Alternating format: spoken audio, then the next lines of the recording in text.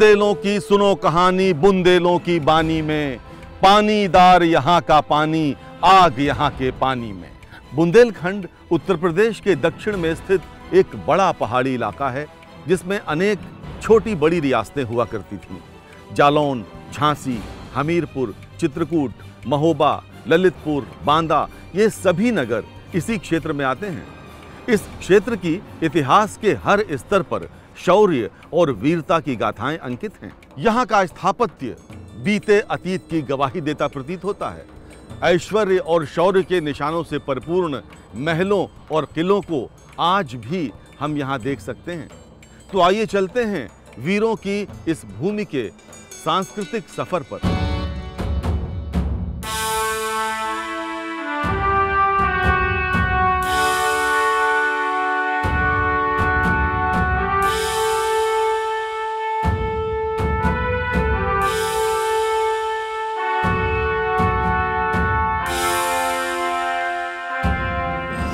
सिंहासन हिल उठे राजवंशों ने भ्रिकुटी तानी थी। बूढ़े भारत में भी आई, फिर से नई जवानी थी। गुमी हुई आज़ादी की कीमत सबने पहचानी थी। दूर फिरंगी को करने की सबने मन में ठानी थी। चमक उठी संसत्तावन में, वो तलवार पुरानी थी। बुंदेले हर बोलो के मुँह, हमने सुनी कहानी थी। खूब लड़ी मर्दानी, वो तो झांसी वाली रानी झांसी की बंगरा पहाड़ी पर स्थित ये दुर्ग यूँ तो बनवाया था 1613 ईस्वी में ओरछा के राजा वीर सिंह जूदेव ने। लेकिन ये जाना गया वीरांगना रानी लक्ष्मीबाई की वीरता के कारण। गेटवे ऑफ़ बुंदेलखंड यानी झांसी आने वाला हर पर्यटक इस दुर्ग के दर्शन करने अवश्य आता है। झांसी, पहुज और बेतवा नदी के मध्य स्थित एक ऐतिहासिक नगर है। जो उत्तर प्रदेश की वीर भूमि बुंदेलखंड का प्रवेश द्वार कहलाता है। मूलतः प्राचीनतम पत्थरों से निर्मित, झांसी का ये अभेद्य दुर्ग आसपास की पहाड़ियों का जैसे राजमुकुट हो। वीर बुंदेलों और मराठाओं द्वारा शासित झांसी का प्राचीन नाम बलवंत नगर था। ऐतिहासिक झांसी के किले से कुछ दूर स्थित रानी लक्ष्मीबाई का राजसी महल है। जो रानी महल के नाम से जाना जाता है, जिसका निर्माण नेवलकर परिवार के रघुनाथ द्वितीय द्वारा करवाया गया था, जिसे आगे चलकर महारानी झांसी ने अपने निवासों में से एक निवास बनाया।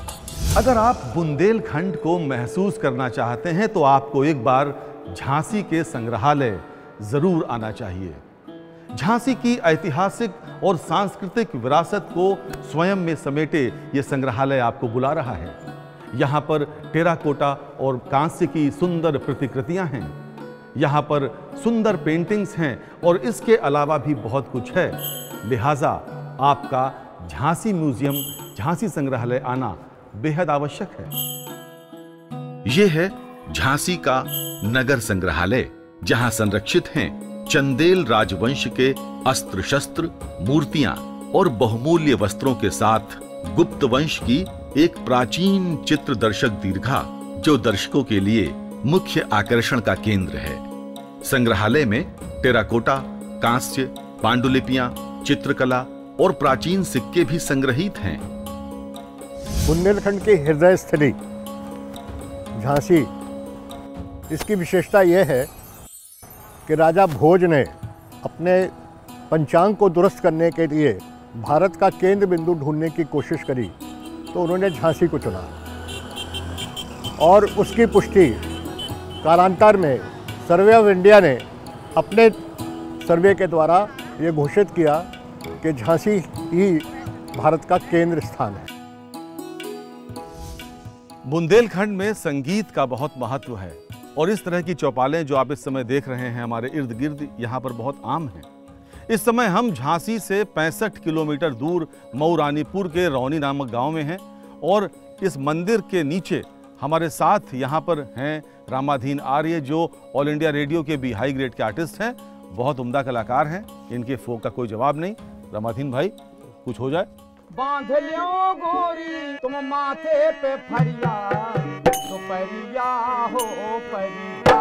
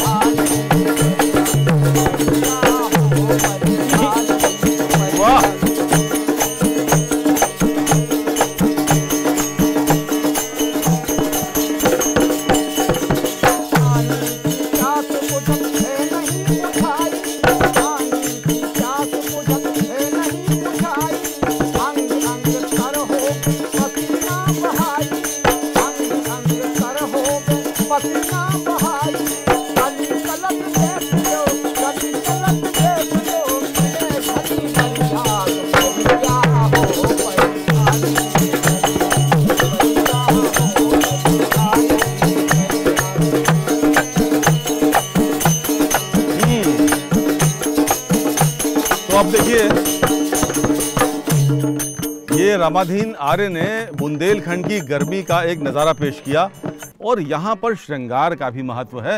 श्रृंगार का भी कुछ हो जाए। नई नई दुल्हन सज गई है घुंघटा में नैन कोई कदरारे। गोरे हैं गाल कोई होठ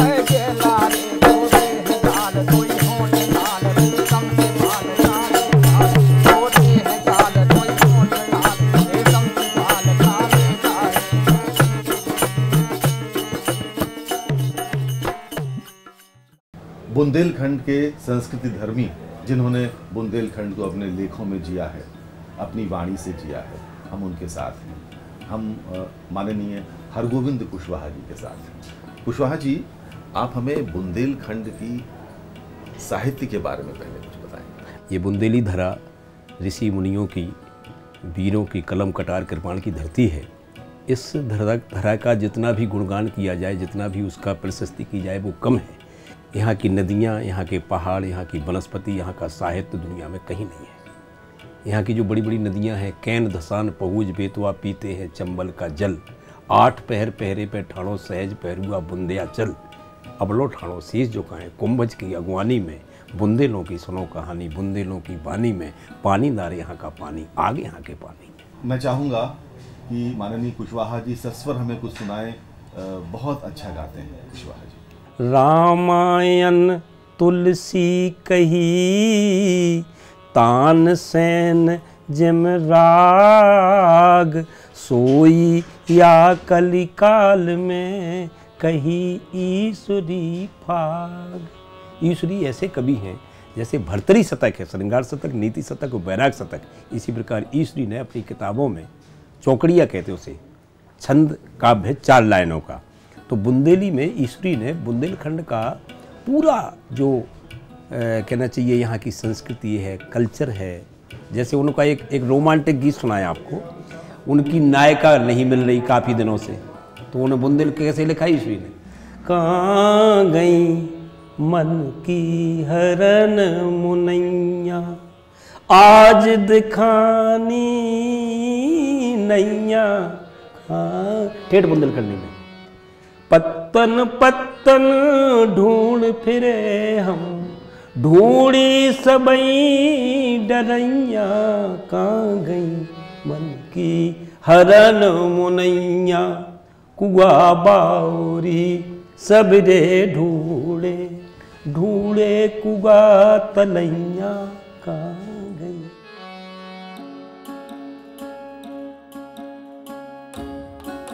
ताल बेहट का किला बुंदेलखंड क्षेत्र के जनपद ललितपुर में मानसरोवर झील के किनारे स्थित है। इस किले को सन 1618 ईस्वी में भारत शाह द्वारा निर्मित किया गया था। इस किले पर राजा मर्दन सिंह का शासन था, जिन्होंने अठारह के स्वाधीनता संग्राम में अंग्रेज़ों के विरुद्ध रानी लक्ष्मीबाई का साथ दिया था। इस किले के अंदर तीन मंदिर हैं, जो अंगद, हनुमान जी और नरसिंह भगवान के हैं।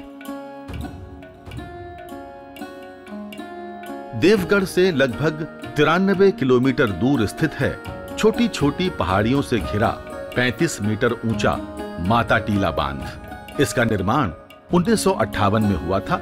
लगभग 20 किलोमीटर क्षेत्र में फैला ये बाँध पर्यटकों को खूब रिझाता है।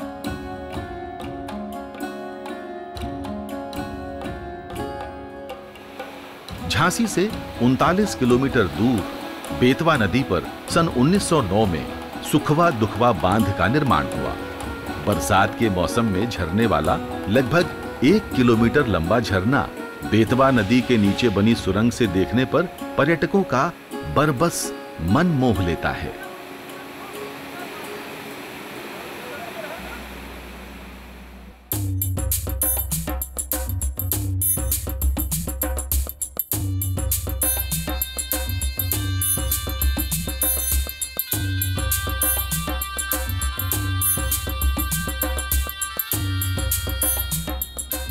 इस समय सूर्य देवता अस्ताचल को जा चुके हैं। गोधूली बेला है और हम बुंदेलखंड के ग्रामीण क्षेत्र में आपको विशेष रूप से लेकर आए हैं कुछ खास चीज़ दिखाने और बताने के लिए।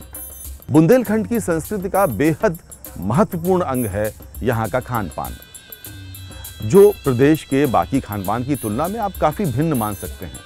और यहाँ के लोग भात, दाल, कढ़ी बड़ा मगोरा, पापड़, कोंच, कचरिया, बिजौरो खांड, घी, मांडे, मिर्च का चूर्ण और आम का अचार जैसी वस्तुओं को अपने भोजन में खास तौर पर शामिल करते हैं। साथ ही रोज़ के खाने में ये पूड़ी कचौड़ी, पपरिया, खाजे, तिरकारी, मालपुआ, लडुआ, मोहन भोग, खीर, खुरबी, खुरमा, इसके अलावा पूरी चटनी आदि पकवानों का प्रयोग भी करते हैं। मुझे पूरा विश्वास है कि ये सारे नाम सुनते सुनते आपके मुँह में हल्का हल्का पानी आने लगा होगा। और ज़्यादा पानी अभी आएगा जब हम ये खाना चख कर आपको दिखाएँगे। ये देखिए खास बुंदेलखंडी डिशेस इसका नाम ठेठला है। ये खाजा है। ये ठड़ूला है दाल का। ये गुनी, इंदरसा और ये बतियाँ। इसके अलावा ये भजिया। ये दूसरे प्रकार के खिचला। ये चावल के खिचला। ये मंगोरा। ये बड़ा तैयार हो गया है। पीछे कड़ी बन रही है, दाल पक रही है और भी बहुत कुछ है। जो आपको मिश्रा जी आके बताएँगे।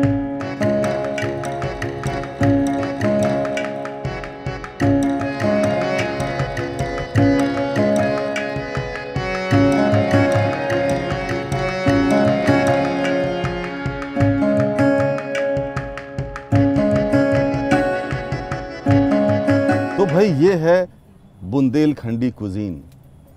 यहाँ के लोग कवि ईश्वरी कहते हैं मुर्का देख स्वाद कछ मुर्का खट्टी कढ़ी कढ़ी है, ये है कढ़ी।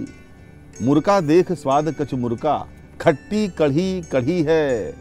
और बुंदेलों के बराबरों की, बुंदेलों के बराबरों की ना कोई बराबरी है।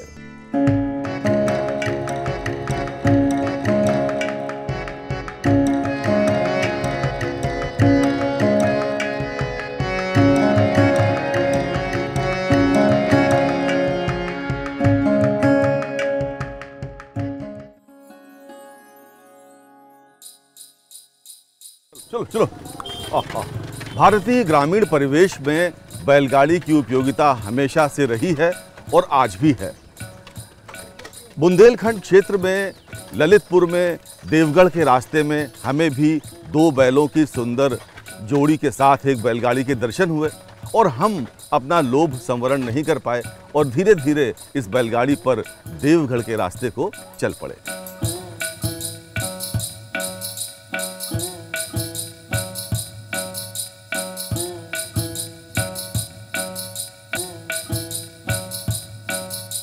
ललितपुर जनपद से 33 किलोमीटर की दूरी पर बेतवा नदी के दाहिनी ओर और विंध्य पर्वत श्रृंखलाओं के दक्षिण पश्चिम भाग में स्थित देवगढ़ ऐतिहासिक गुप्तकालीन स्मारकों के लिए जाना जाता है।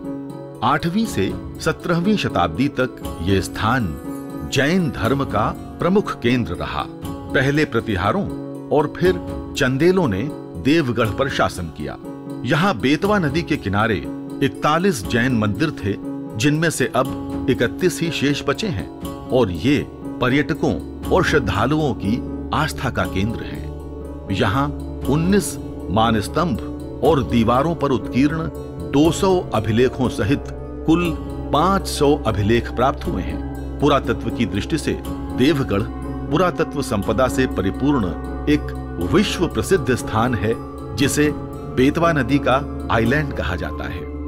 लगभग 1200 साल पुराने गुप्तकालीन दशावतार मंदिर में हम आ चुके हैं। ये मंदिर लाल बलुए पत्थर से बना है और ये भगवान विष्णु का मंदिर है।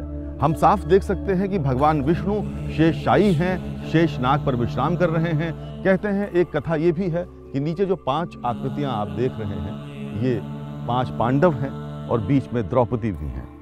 तरह तरह की कहानियाँ किंवदंतियाँ इसके बारे में जुड़ी हुई हैं। बहरहाल ये मंदिर इस पूरे बुंदेलखंड क्षेत्र का एक अद्भुत पर्यटक स्थल है। गुप्तकालीन स्थापत्य कला का एक अप्रतिम बेजोड़ नमूना है ये देवगढ़ का दशावतार मंदिर।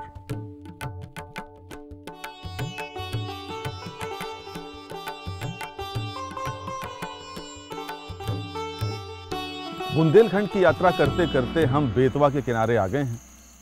इस समय सुबह के 10 बजे हैं, लेकिन आप ध्यान से सुनिए, आपको झींगुर की हल्की हल्की आवाज़ें सुनाई पड़ रही होंगी। जी हाँ हम भगवान महावीर वन्य जीव विहार में हैं और यहाँ पर जो प्राचीन बुद्ध गुफाएँ पाई गई हैं, वो यहाँ इस ऊँचे पहाड़ पर 100 मीटर दूरी पर स्थित हैं। अब हम वहाँ चलेंगे और मिलकर उस बुद्ध गुफा को देखेंगे। आइए चलते हैं।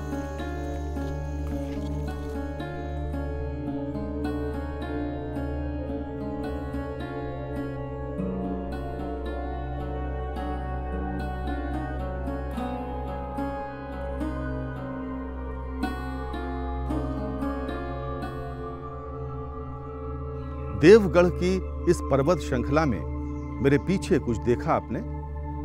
भगवान बुद्ध यहाँ धर्म चक्र प्रवर्तन की मुद्रा में हैं। कहते हैं, आज से लगभग एक हज़ार वर्ष पूर्व इस बुद्ध गुफा का निर्माण हुआ था और आजकल ये गुफा बौद्ध अनुयायियों के बीच श्रद्धा का केंद्र बनी हुई है। इस गुफा को खोजने वाले ललितपुर के पत्रकार रविंद्र दिवाकर हमारे साथ हैं। रविंद्र जी कैसे ये गुफा खोजी आपने ये 19 जून 2013 की बात है। हम लोग यहाँ पर ये शिव गुफा खोजने निकले थे जी। तो आगे जानकारी मिली कि कहीं समुद्र मंथन है आगे। तो उसको समुद्र मंथन खोजते खोजते जब यहाँ पर आए तो समुद्र मंथन के बजाय भगवान बुद्ध दिखाई दिए। हम लोग धन्य हो गए कि बौद्ध धर्म हिंदू धर्म और जैन धर्म का अनूठा मेल यहाँ मिला। तो ये सारी चीज़ें पूरी दुनिया के लिए नए सिरे से पैदा हुई, और नया चमत्कार पैदा हुआ। तो मलेशिया से, जापान से, और थाईलैंड से, श्रीलंका से कई देशों के विदेशी यात्री यहाँ आते हैं, और इन गुफाओं के हैंगिंग रॉक्स को देख के अपने आप को धन्य समझते हैं।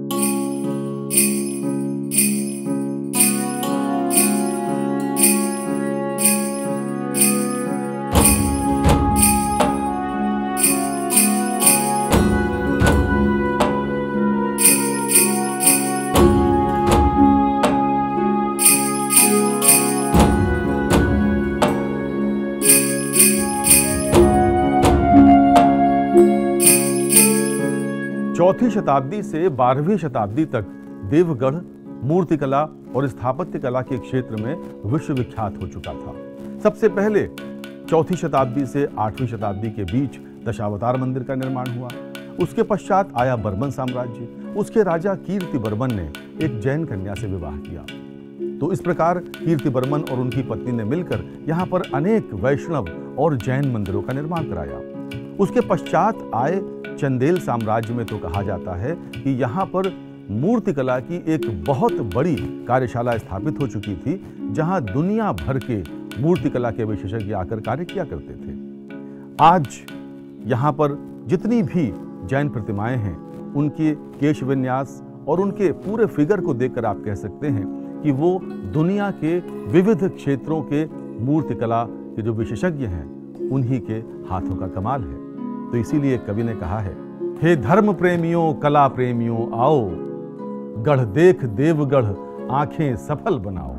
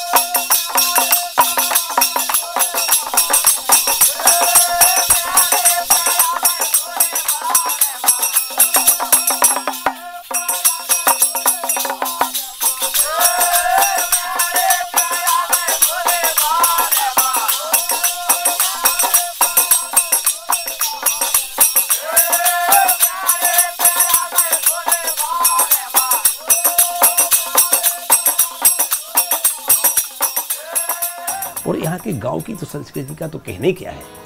यहाँ के गाँव की संस्कृति के बारे में आपको बताएँ पाठक जी।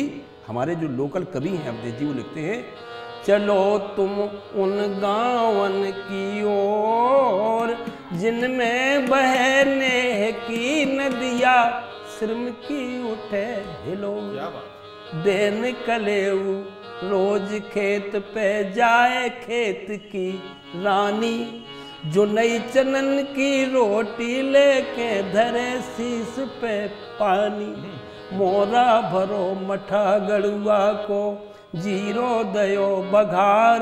और लाल मिर्च की चटनी पर है सब व्यंजन बलिहार। दाहिने तनक दयो मुख मोर। मुस्किया के के दई सो कारू, आ जइयो बाजोर। चलो तुम उन गावन की और फ़सलें कैथ करोंदी कांकर महके कैथ करोंदी कांकर महके महुअन से रस बरसे ओ गदरी गदरी अमियाँ देखे गोरी को मन पर से। गौ चना जे जुनई बाजरा खेत भरे अरहर सो। नीली नीली अरसी फूली, पीली पीली। सरसों देख के कभी हो जाए विभोर गलियारन में गूंजत जावे पेजनियन को शोर। चलो, ये बुंदेलखंड के गाँव। बरुआ सागर, जैसा कि नाम से लगता है कि कोई समुद्र होगा, लेकिन ये 260 वर्ष पुरानी एक झील है, जिसे ओरछा के महाराजा उदित सिंह ने तटबंधित करवाया था। झील के पास एक बरुआ सागर किला है, जहाँ से झील के चारों ओर बसे बरुआ सागर नगर का मनोरम परिदृश्य दिखता है।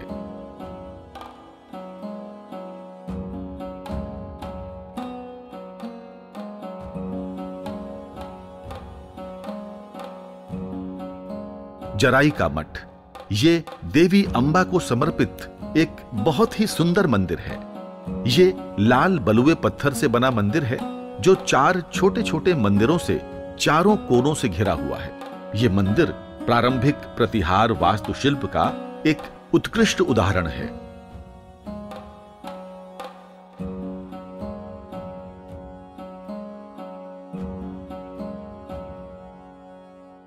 वीरता और शौर्य बुंदेलखंड की मिट्टी में है। महोबा में जन्मे आल्हा और उदल भी प्रसिद्ध वीर योद्धा थे और इनके किस्से, इनकी कहानियाँ, इनके गीत आज भी महोबा में क्या पूरे बुंदेलखंड में घर घर में सुनाए जाते हैं। इन दोनों के बारे में कवि जगनिक ने विस्तार से लिखा है।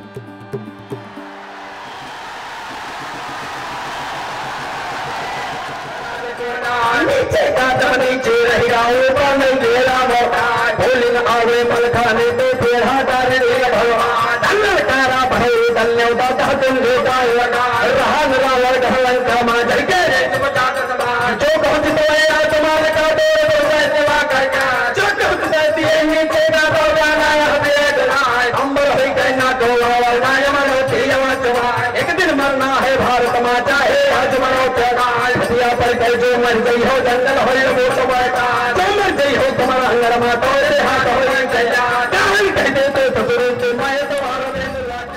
महोबा झांसी से 140 किलोमीटर दूर प्राचीन, शक्तिशाली चंदेल राजवंश की राजधानी हुआ करती थी और इन्होंने नवीं शताब्दी से ग्यारहवीं शताब्दी के बीच बुंदेलखंड पर शासन किया था। चंदेल महान योद्धा और निर्माता थे, जिन्होंने कई अभूतपूर्व वास्तुकला के प्रयोग किए और ये सूर्य मंदिर उनमें से एक है।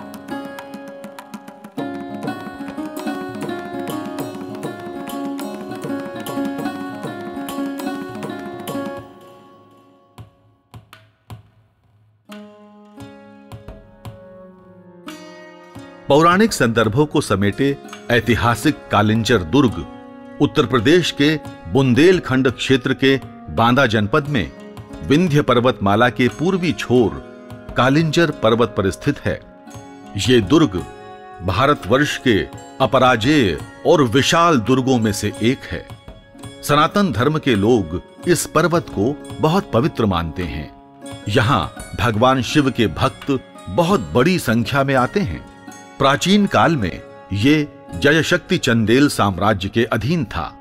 जयशक्ति चंदेल के बाद ये कई राजवंशों, जैसे चंदेल राजपूतों के अधीन दसवीं शताब्दी तक और उसके बाद रीवा के सोलंकियों के अधीन रहा। यही वो समय था जब कालिंजर दुर्ग पर विभिन्न आक्रमणकारियों ने चढ़ाई कर दी, जिनमें महमूद गजनवी, कुतुबुद्दीन ऐबक, हुमायूं और शेर शाह सूरी प्रमुख थे, लेकिन उन सबको पराजय का मुँह देखना पड़ा। अनेक प्रयास करने के बाद भी आरंभिक मुगल बादशाह भी कालिंजर के किले को जीत नहीं सके।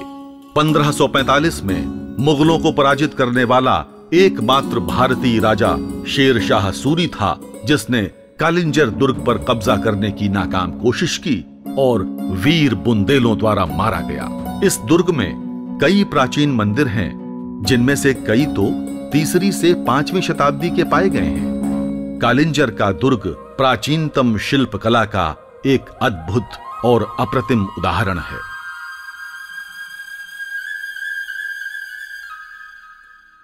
प्रातःकाल उदित होता सूर्य, जब अपनी जगमगाती किरणों से मंदाकिनी के पवित्र जल को स्पर्श करता है तो लगता है कि चित्रकूट के रामघाट में जैसे जीवन का वसंत उतर आया हो। गोस्वामी तुलसीदास की रचना भूमि और रामायण परंपरा का शुभारंभ चित्रकूट की इसी पुण्य धरा से हुआ। मर्यादा पुरुषोत्तम भगवान श्री राम ने माता जानकी और अनुज लक्ष्मण के साथ अपने वनवास का अधिकांश समय यहीं व्यतीत किया। चित्रकूट में छप्पन छोटे बड़े मंदिर हैं जो रामायण की गाथा से जुड़े हुए हैं, जिनमें प्रमुख हैं हनुमान धारा कामतगिरी और स्फटिक शिला। श्री रामचंद्र कृपाल हरण चित्रकूट से लगभग 19 किलोमीटर दूरी पर स्थित है गुप्त गोदावरी।